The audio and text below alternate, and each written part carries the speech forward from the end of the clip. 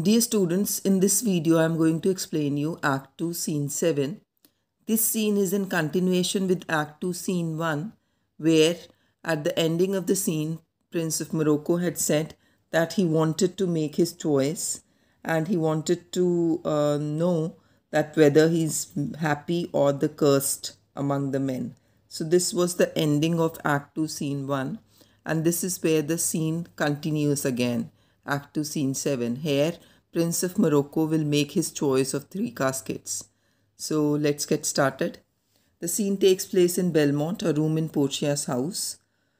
Flourish of cornets enter Portia with Prince of Morocco and their train. So the characters present in the scene are Portia and Prince of Morocco with their attendants. And the scene takes place in Belmont, a room in Portia's house. So the first dialogue of Portia, go draw aside the curtains and discover the several caskets to this noble prince to now make your choice. So in this uh, extract, Portia is telling her servants or attendants to draw aside the curtains and show the different caskets to the noble prince. And he asked Prince of Morocco to make his choice. Prince of Morocco, the first of gold, who this inscription bears. So he reads the inscriptions written on different caskets. The first casket he looks at is the golden casket, and the uh, inscription on golden casket is Who chooseth me shall gain what many men desire. So, uh, on golden casket, it's written that one who chooses it will gain what many men desire. Then he reads the inscription on silver casket it says the silver casket casket which this prom promise carries. So silver ca casket carries a promise. Silver casket has an inscription on it which is a sort of promise. Who chooseth me shall get as much as he deserves. So uh, the inscription on silver casket is that one so whosoever chooses me shall gain as much as he deserves Moving on to the next page. The third, dull lead with warning all as blunt. So the third is plain lead casket with plain and blunt inscription. The inscription on uh, lead casket is, Who chooseth me must give and hazard all he hath. That means whosoever chooses the lead casket must give and risk all he has. How shall I know if I do choose the right? So he is now in confusion. He says that how will I come to know whether I have chosen the correct casket or not?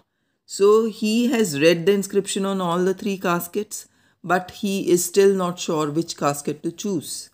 Portia. One of them contains my picture, Prince. If you choose that, then I am yours withal. So Portia says that one of the three casket contains my picture and if you choose the casket which contains my picture then she says I am all yours along with the casket. Morocco. Some God direct my judgment. Let me see. So he is asking God to direct him to choose the right casket so he's uh, seeing the caskets again. This time he has started from lead casket. He says, What says this leaden casket? Who chooseth me must give and desert all he hath. So he has read the inscription written on the lead casket again, and it reads that whosoever chooses me must give and risk all he has. Then he, he is he seems to be talking to himself. He says, Must give for what? So he is just going by outer appearance of the caskets. He is saying, he is considering that why must one give and risk everything for such a cheap metal, uh, such a plain metal that is lead. For what? For lead? Hazard for lead? So he is seemed he seems to be um, not uh, no, ready to choose this lead casket because it's such a cheap metal according to him and why should one give away and risk away everything he has just for lead? This casket threatens. So he says that this lead casket it threatens. men that hazard all do in hope of fair advantages. He says that whosoever risk, men who risk everything, do in hope of a great reward. So, why would anything risk or uh, lose everything for this uh, cheap metal that is lead? So, that is what he means. A golden mind stoops not to shows of dross. He says here that a noble mind does not, golden mind means a noble mind, does not lower itself. Shows to dross means does not uh, lower itself to consider a worthless sense, uh, thing such as lead, such as uh, it appears. No, so he's saying that a noble mind never stoops low to worthless things like lead. So he says that he's not going to choose this. So he says I will then nor give nor hazard aught for lead. He says, I will not risk anything and I'm not going to give anything for lead. So he uh, doesn't choose the lead casket and he denies choosing lead casket. Uh, firstly, he says that why would somebody risk or hazard anything for lead? Then he says that this uh, casket bears inscription that threatens. He says men who risk their everything do in hope of getting a reward and a noble mind never uh, lower itself to worthless things like lead so he's saying that i'm not going to risk anything or give anything for lead. So then uh, he reads the inscription written on silver casket. What says the silver with her virgin hue? So he says next what does the silver casket with her pure color say? Virgin hue here means pure color. So uh, the inscription is who chooseth me shall get as much as he deserves so it says whosoever chooses me shall re receive as much as he deserves. So it says he says okay as much as he deserves. Pause there morocco. So he says hold on morocco. And uh, you should pause there. You should think a little. As much as he deserves. So uh, he says, Pause there, Morocco, and weigh thy value with an even hand. So he asks himself to stop there and assess his value with an impartial judgment. Without being impartial, uh, he should uh, uh, judge himself, he should judge his worth. That does he deserve Portia or not?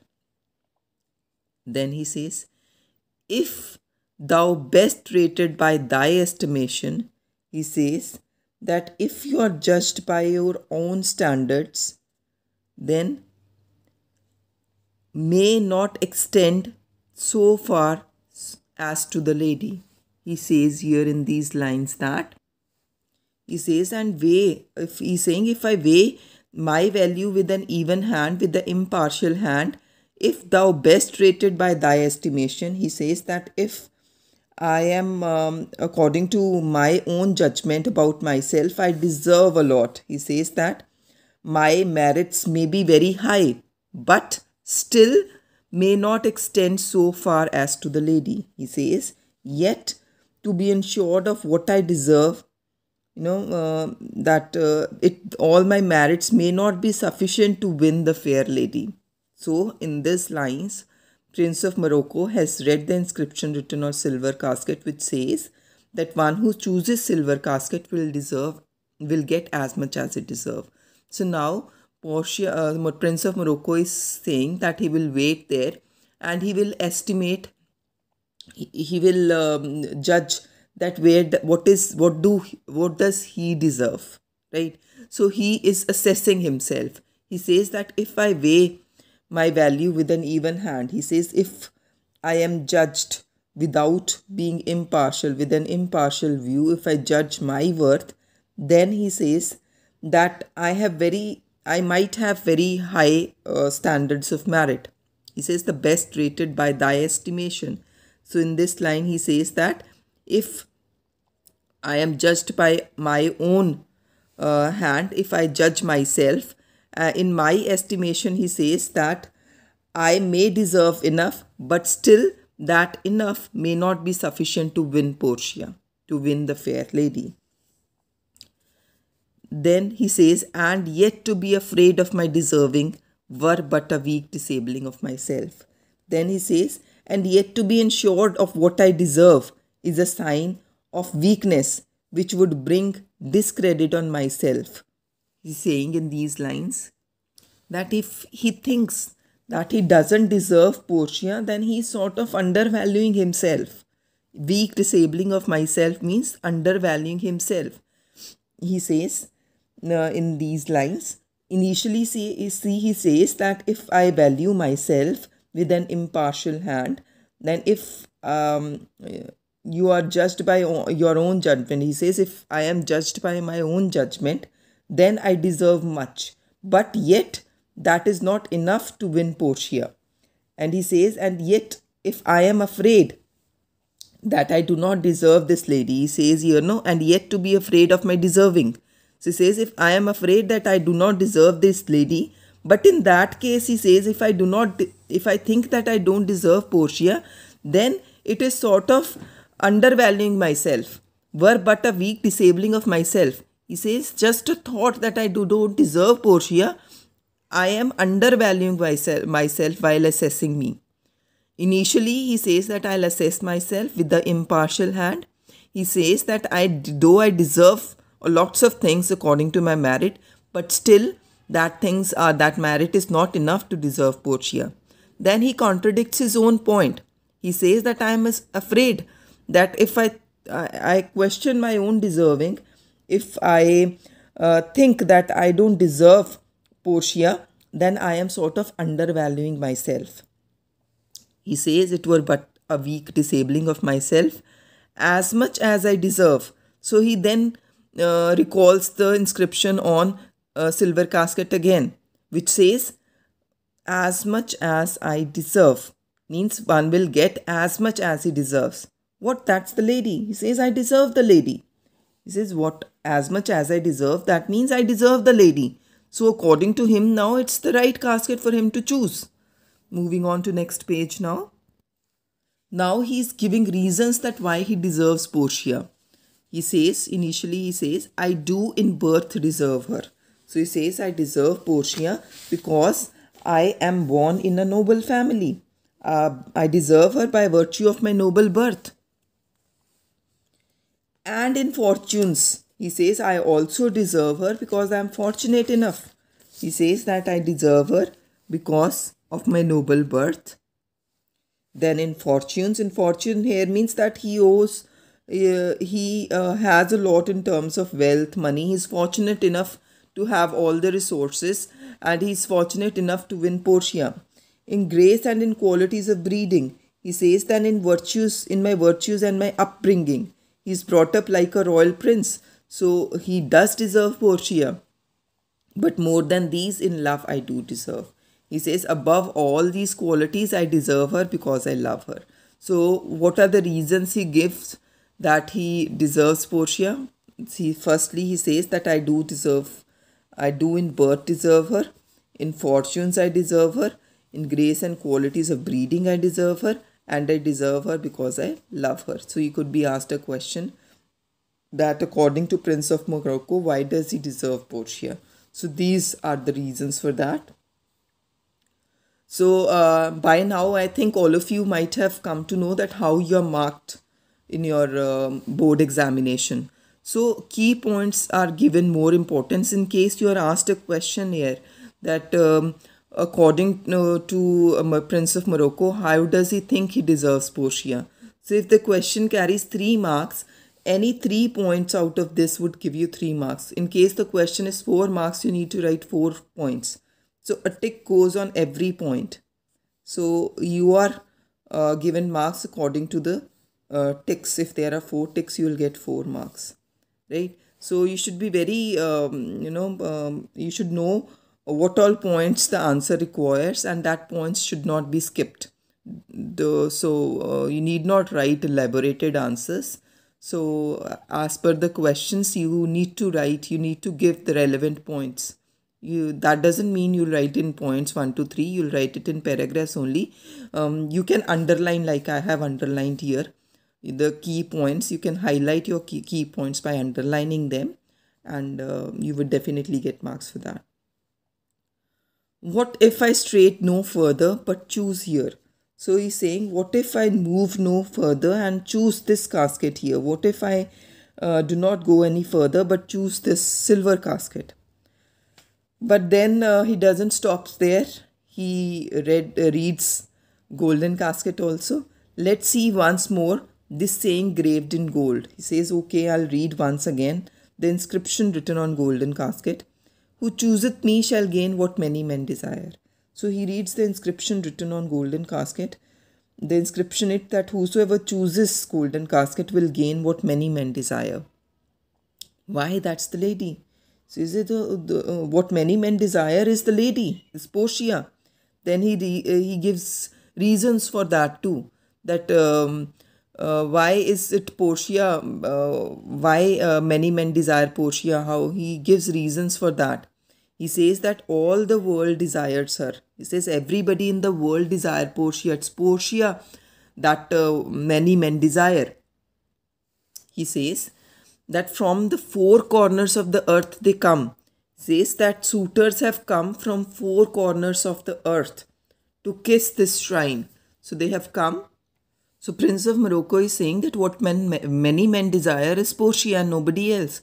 He says because from all the four corners of world suitors have come to kiss this shrine. See shrine here means uh, a shrine is a place where any sacred relic of a holy person is kept. So shrine here is a place. So shrine here could be Belmont. Says many uh, suitors come from all four corners of the world to Belmont to kiss this shrine, this mortal breathing saint. So why have they come here? Mortal breathing saint here is alive uh, like an ordinary living person yet a saint. So a living saint, mortal breathing saint means a living saint. That is Portia here. So he says from all the four corners of the world, suitors come to Belmont to win Portia. To kiss the shrine, this mortal breathing saint. So from all the four corners of the world, the suitors, they come to kiss the shrine of the saint in human form. So from the four corners of the world, the suitors, they come to Belmont to win Portia. The Hyrcanian deserts and the vasty wilds of wide Arabia are as thoroughfares now. So, so Prince of Morocco here is saying that um, what many men desire is Portia because from four corners of the world suitors have come uh, to Belmont to win Portia. Then he says, uh, the Hyrcanian deserts and the vasty wilds of Arabia are as thoroughfares now for the princess to come to view fair Portia. So these three lines are in continuation only. So in these lines, he has talked about the Hyrcanian deserts and vasty wilds of Arabia. So the Hyrcanian deserts and vasty wilds of Arabia are very tough to cross. So Hyrcanian desert is a desert um, region to the south of Caspian Sea.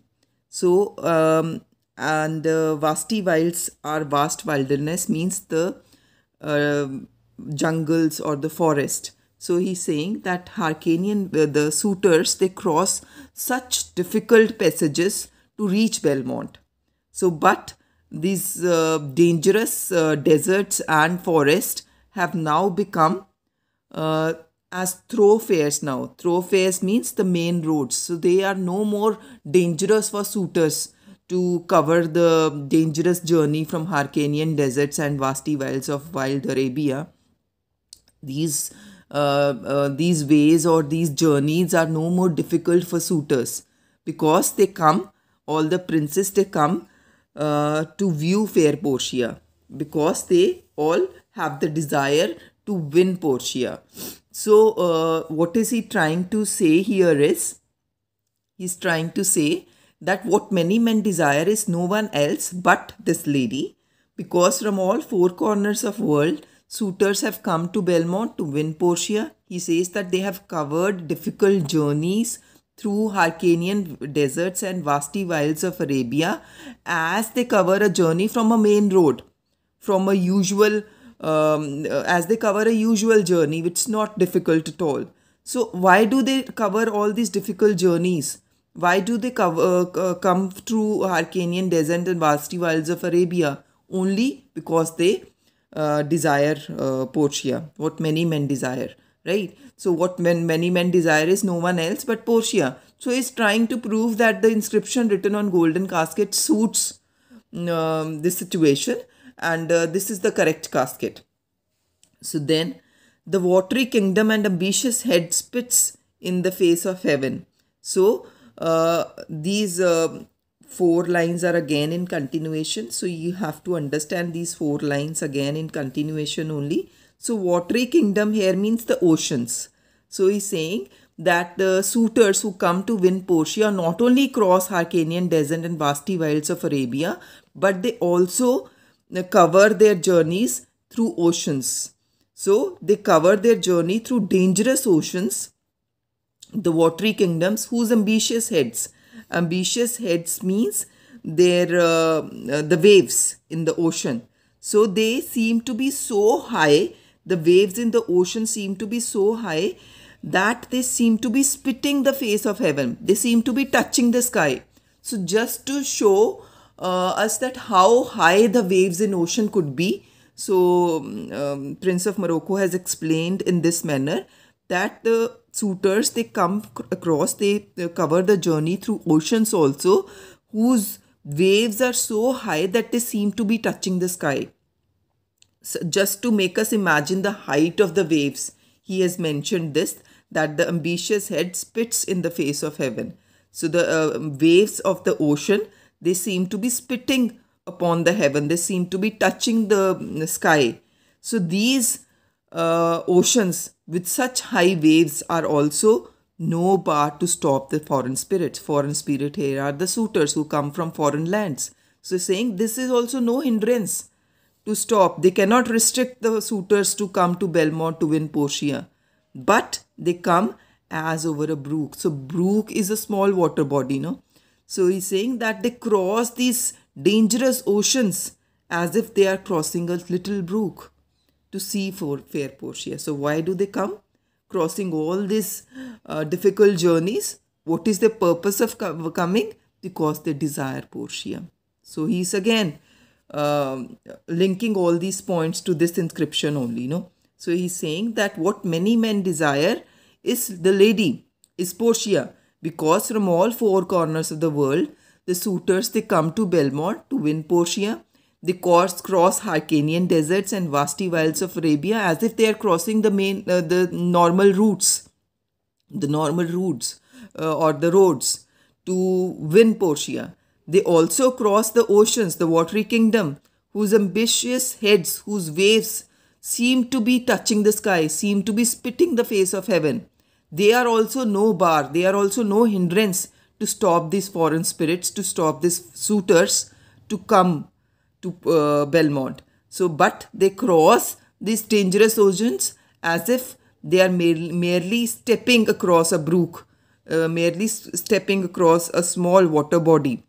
These uh, dangerous oceans are also no hindrance uh, for uh, foreign spirits to uh, win Portia, to see Portia, or to um, to come to Belmont to uh, try their luck in caskets. So, what do many men desire? So, many men desire Portia. Now, Prince of Morocco says, one of these three contains her heavenly picture. He says, one of these three caskets contains heavenly picture of Portia, uh, Portia, contains a portrait of Portia, he says. Isn't like that lead contains her? So saying that isn't uh, that lead contains so again he'll be thinking that which one would contain portia's picture. So he goes move starts from lead casket. He says does lead contain her it were damnation damnation means that one would go to hell for thinking such a thought so he's saying if i if such a thought to think so base a thought he says i will go to hell if i think even think that her portrait is contained in lead casket. It were too gross to rib her cerecloth in the obscure grave. So Prince of Morocco is saying that uh, even to think that uh, Portia's portrait would be in lead casket, it's such a base thought that one would go to hell for just for thinking that. So he's saying that um, uh, the lead casket is, is were too gross, means the lead casket were too, uh, you can say plain, so base that uh, to rib her cerecloth in the obscure grave. So cerecloth here means a wax cloth in which body is wrapped for burial. So he is saying that it is not even worth of carrying this cloth that is used for burial. So in the dark, in the obscure grave means in the grave, in the dark grave. So he's saying that how could it carry portrait of Portia? So he's saying that it is such a base metal and uh, and uh, it is such a coarse metal. Gross means coarse. So he's saying that uh, even a thought that uh, Portia's portrait would be in um, lead casket, even a thought of that would send one to hell. So he's saying it is such a coarse metal that it is it is not even worth of carrying um, a cloth that is used for wrapping a body for burial in a dark grave. So it is not even worth that. So how could it, it carry portrait of Portia? Or shall I think in silver she is immured? So saying, uh, okay, it, it cannot be in gold, in lead casket. So what reasons does he give that uh, Portia's portrait cannot be in lead casket? Initially he says that uh, one would be damned on just a thought of that because it's a very base thought. Then he says it's such a coarse metal, uh, coarse metal that it, it is not even worth of carrying the care cloth in obscure grave. So he's saying that uh, definitely it cannot be in lead casket. Initially also if you remember on the previous page, page number 70, he, he has given reasons that why um, the Portia's portrait cannot be in lead. So he's saying that it is such a, uh, no, it's such a base and cheap metal that uh, uh, Portia's portrait cannot be in a lead casket and why would anybody risk and hazard anything for uh, such a base metal? So that is the reason that he did not choose the lead casket. So he's saying the uh, inscription threatens. So why men who hazard their everything, it does uh, with the intention of getting some fair advantages. Why would anybody risk everything or give anything for lead? So that is why he doesn't choose the lead casket. Then he says, um, we are on line number 52. Or shall I think in silver she is immured. He says if, if uh, the portrait of Portia is not in lead casket, should I think that uh, the portrait of Portia is in silver casket? Then he gives answer to his own question. He says, being 10 times undervalued to tried gold. He says, no, it cannot be in silver casket because it's 10 times undervalued than gold. Oh, sinful thought. He says, it's just a thin, sinful thought to think that uh, Portia's portrait is in silver casket that is 10 times undervalued than gold. Never so uh, rich a gem was set in worse than gold. He says he calls Portia a rich gem. He says such a rich gem, such um, a rich gem like Portia uh, should be there in golden casket only. Should not cannot be in lesser than any metal like other than gold. So he's saying such rich gem could be contained in golden casket only. Then he compares this golden casket to a coin. He says they have in England a coin that bears a figure of an angel. He says in England there is a coin that has a figure of angel on it. Moving on to next page. He says in England uh, they have a coin on which the figure of angel is stamped, stamped in gold. So he says that in England there is a coin which has a figure of angel stamped in gold, but that's insculped upon. But here an angel in golden bed lies with all within. So he says, but the, uh, in that case, the figure of angel is stamped upon the gold. It's insculpted or imprinted or engraved upon the golden coin. But here he says, an angel lies in the golden bed. Means the portrait of Portia lies in the golden casket. Right? So finally, he says, Deliver me the keys. Here do I choose and I thrive as I may. So he says, Portia to give him the key, because he, he has finally chosen the golden casket. He says, and I may succeed as I desire. So, uh, with the um, desire of uh, winning, he has chosen, finally, he has chosen golden casket. So, why has he chosen golden casket? Because he says a precious jewel, a precious gem like Portia could cannot be placed in a casket made of any inferior metal than gold. So he's saying that it could be contained only in gold metal. Then he gives example of um, a coin in England. He says in England they have a coin on which the figure of an angel is stamped in gold. But here the figure of an angel is in the gold, lies within the golden bed, that is the golden casket. So he says finally ask for the keys and he chooses the golden casket and he says that I will uh, uh, I will uh, succeed. So he says that he would, uh, whatever uh, my success may be, I will choose the golden casket. So he finally chooses the golden casket. Portia, there take it, the prince. And in, if my form lie there, then I am yours. So Portia says that if you find my portrait inside the casket, then I am all yours he opens the golden casket. So finally, Prince of Morocco opens the golden casket, and what does he find? Oh hell, what have we here? A carrion death, within whose empty eye there is a written scroll. I'll read the writing. So, what did Prince of Morocco find? So, he is shocked. The expression oh hell means that he is surprised, he is shocked uh, he says, What is inside this casket? An empty skull. A carrion death means an empty skull.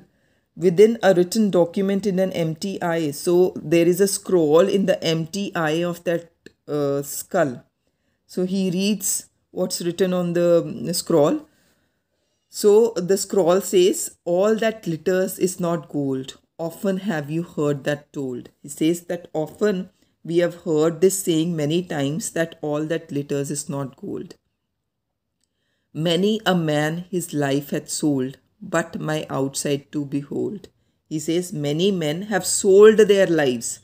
Many a man his life hath sold means many men have sold their life, but my outside to behold. So, why have they done so? To see the outer beauty of gold.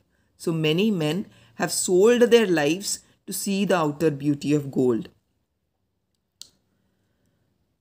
Gilded toms do worms enfold. So he says that even the beautiful gold covered tombs they have worms inside them because they have the bodies dead bodies buried under that golden tombs no from outside that tombs look beautiful because they are made of gold but what do have they have inside they have worms running inside so even the tombs that are made of gold have worms inside. Have you been as wise as bold? So he's saying that if you had been as wild, as courageous you are. So he's very courageous to have chosen the golden casket. So he says, if you had been as wise, young in limbs and judgment old. He says that you are very young in your limbs, you are young of body. But if you have been as wise in your uh, judgment also judgment old means if you had been more mature in your judgment also. So he, the prince so this is what the uh, the scroll inside the golden casket is as if uh, talking to um, prince of morocco. Is saying that if you had been as wise as you are bold if you had been as old in your judgment as you are young by your body your answer had not been inscrolled. So he says that you would not have been reading this scroll or the document, the scroll that was found in the golden casket in the hollow of the empty eye of the dead skull. Fear you well, your suit is cold. He says, Farewell, your suit is cold means your suit has been rejected. All your hopes to win Portia are dead now. Your suit is cold. So that this is what is uh, mentioned on the scroll. You need to remember. You could also be asked a question on this. That was was written on the golden scroll on the scroll that was found in the golden casket. So I am once again repeating what is written on the golden casket, uh, the scroll. So that was found in the golden casket. It's written that all that glitters is not gold. It's often heard and said. Many men have given their lives to see the exterior of gold. They who are attracted by the outer appearance of the gold. He says, but the gold plated tombs have worms inside. Even the gold plated tombs, they have worms inside so whatever appears from beautiful from outside may not be the same from inside, he means. If you have been as wise and, and as courageous, and if you had been as uh, experienced uh, judgment, if you had an experienced, uh, if you had been an experienced um, judge, as you are youthful in your body, then you would not have been uh, reading your answer in this form of a scroll. So he says, Farewell, your hopes are dead. Uh, that's where the scroll, uh, the reading, uh, the inscription on the scroll ends. So this, this is what is written on the scroll. So on re after reading this, Prince of Morocco says, Cold indeed and labor lost. So he says, Yes, my hopes are dead. The suit is cold. So the hopes are dead now it's actually cold and the labor lost. All the efforts he had made to win Portia, that are all lost. Then farewell heat and welcome frost. He says, okay, I'll farewell the heat of love towards Portia and I will welcome the frost. I will welcome sadness. Disappointment. Portia adieu. He bids Portia farewell. I am too grieved a heart. So he says that I am so sad at heart to take a tedious leave. He says, I cannot take a formal leave from you, thus losers part. He says, I am so sad at heart that I am not going to take a formal leave from you, but we both will part. And he leaves. Exit with train, uh, flourish of cornets. So uh, Prince of Morocco has left now. So what did uh, Portia say when Prince of Morocco leaves? She says a gentle radiance means a heavy, happy deliverance. So she's happy that he has not chosen the correct casket. So he, she asks um, his servants to draw the curtains, go. Let all of his complexion choose me so. So she wishes that everybody who has a complexion like gold should choose as should make a choice similar to Prince of Morocco, should make a choice like Morocco has made.